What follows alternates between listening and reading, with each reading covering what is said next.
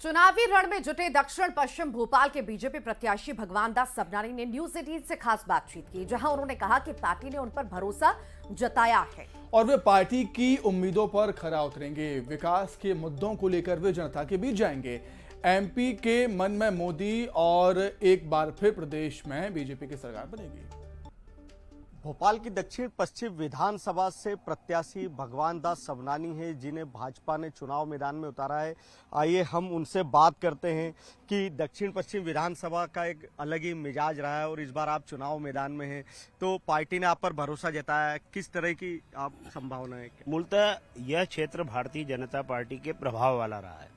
2018 के चुनाव को छोड़ दें अपवाद स्वरूप तो 2003 से लगातार भारतीय जनता पार्टी इस सीट पर जीतती रही।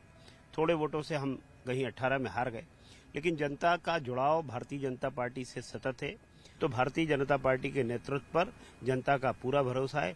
बहनों में अपार स्नेह है और जब देश की संसद बनती है और संसद में पहला बिल महिलाओं के लिए आता है, महिला आरक्षण होता है तो माननीय नरेंद्र मोदी जी के प्रति जो भाव था उसमें और वृद्धि होती है।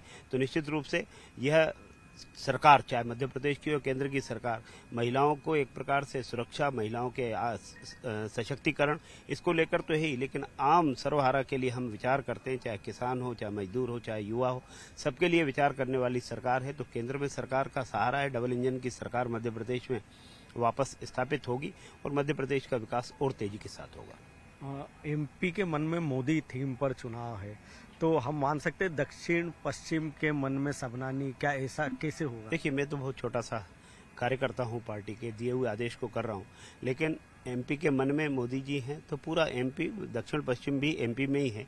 तो माननीय मोदी जी के नाम ही पर्याप्त है कि विकास की एक गारंटी होती है, सुरक्षा की एक गारंटी होती है, भ्रष्टाचार के खिलाफ लड़ने की एक गारंटी होती है। तो मुझे लगता है कि मोदी जी और मध्य प्रदेश में हमारा जो नेतृत्व है उसके भरोसे हम कह सकते हैं कि लोगों का एक आत्मविश्वास है लोगों को लगता है कि ये एक काम करने वाली सरकार दे सकते हैं। तो निश्चित रूप से मध्य प्रदेश में भारतीय जनता पार्टी की सरकार बनेगी। एमपी के मन में मोदी है मोदी जी के मन में एमपी है।